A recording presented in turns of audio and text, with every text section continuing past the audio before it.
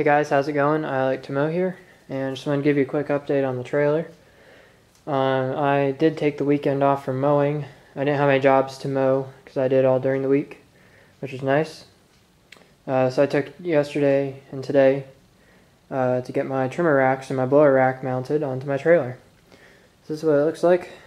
Um, got the Stihl FS90R on top and the PE266 on the bottom.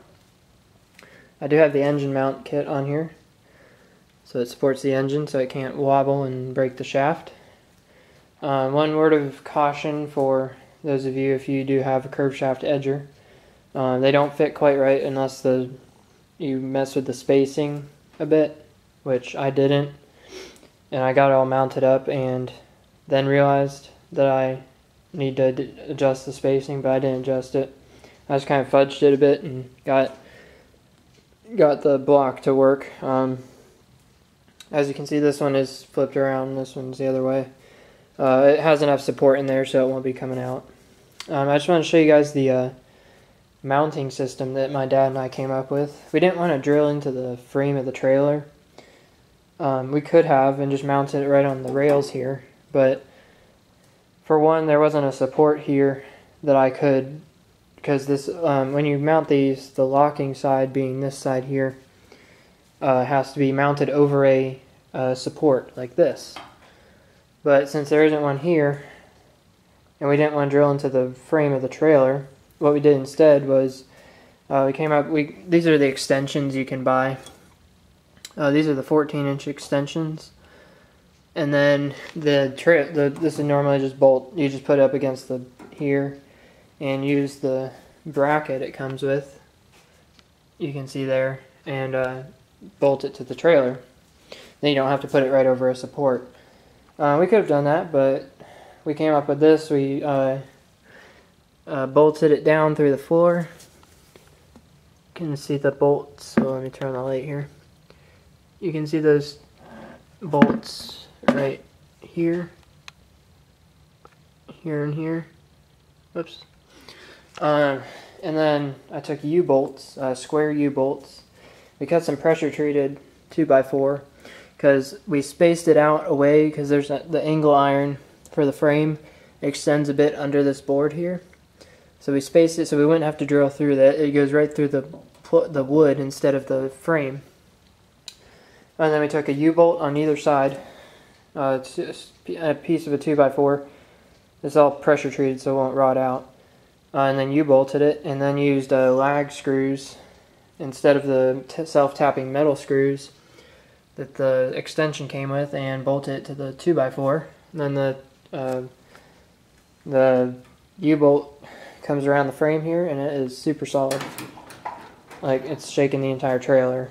Um, this side, we only did one U-bolt because of the uh, limited space with the fender and Tractor Supply didn't have any more U-bolts. We bought out this size of U-bolt. These are 5 sixteenths by 2 inches wide and 5 inches long. We bought out the both Tractor Supply stores worth of U-bolts in our town to do and we did the same for the blower rack over there. I can't get over there right now because I have a bunch of stuff, but uh, the BR600 is on there. I can put my 130 BT on there, but it'd be really small. Um, so I probably won't. I'll, if I ever take that, I'll just put it in the back of the pickup truck. Um, but basically, this system here completely eliminates drilling through the frame of the trailer, and we didn't want to do that because it would cause it to rust if we didn't paint it. Um, and I also put I also bought fast straps for the uh, Exmark Turf Tracer. These are from the same company, Green Touch which also makes these racks. Um, they're twenty six ninety five a piece. So basically, what it comes with is those two wheel chalk, those metal chocks down there, and then this strap. The strap runs over the tire and keeps the the mower from hopping. Um, I usually or was using ratchet straps and tying the mower down with the cleats on the trailer, which works fine, but doesn't keep it from jumping up and down if you go over bumps.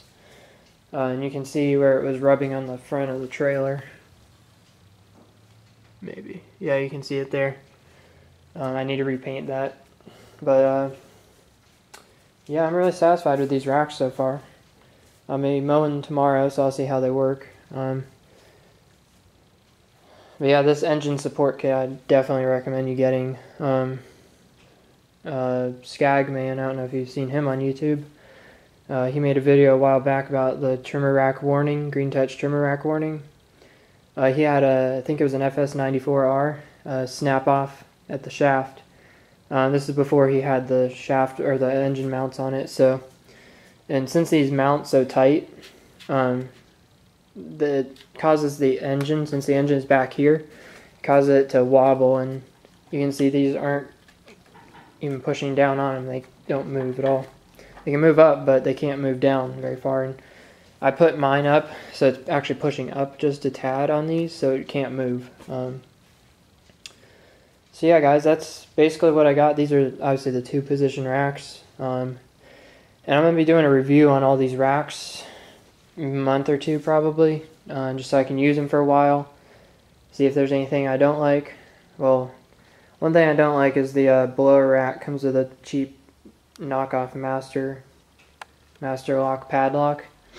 I'm probably gonna put a heavier duty lock on that because someone could just come by and cut it off with a bolt cutter.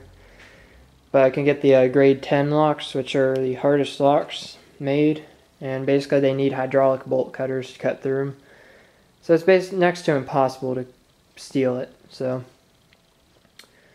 yeah, guys, that's about it. Um, I might get some mowing footage tomorrow. Not quite sure. Just need to see if how it's how busy it is. But so yeah, guys, that's about it. Um, if you have any questions, feel free to leave a comment, and I'll see you guys in the next video.